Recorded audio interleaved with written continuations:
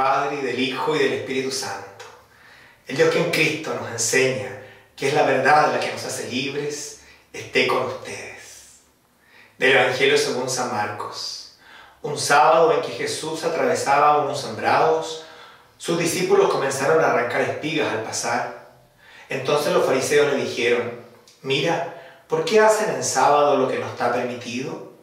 Él les respondió, ustedes no han leído nunca lo que hizo David cuando él y sus compañeros se vieron obligados por el hambre, cómo entró en la casa de Dios en tiempo del sumo sacerdote Abiatar y comió dio a sus compañeros los panes de la ofrenda que solo pueden comer los sacerdotes. Y agregó, el sábado ha sido hecho para el hombre y no el hombre para el sábado, de manera que el Hijo del Hombre es dueño también del sábado.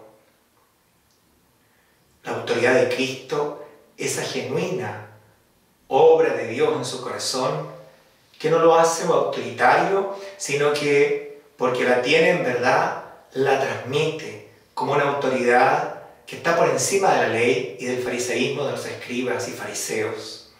Y por eso recuerdo hoy día que el hombre ha sido hecho para el sábado y no el sábado para el hombre. Y por lo tanto, el ser humano tiene que discernir y a libertad actuar, no por ofender a Dios, no por respetar el sabbat, día de reposo. Hay cosas más importantes que valorar y cuidar, como satisfacer en este caso el hambre de los discípulos.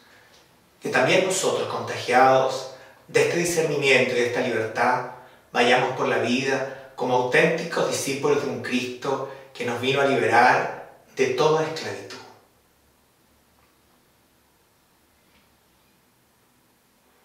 Creo, Jesús mío, que estás real y verdaderamente en el cielo y en el santísimo sacramento del altar. Te amo por sobre todas las cosas y deseo vivamente recibirte dentro de mi alma, mas, no pudiéndolo hacer ahora sacramentalmente, ven espiritualmente a mi corazón.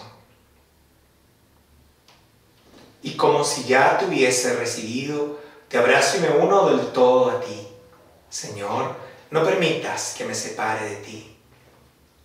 Que por la intercesión de San Francisco de Asís le bendiga el Dios que es Padre, Hijo y Espíritu Santo.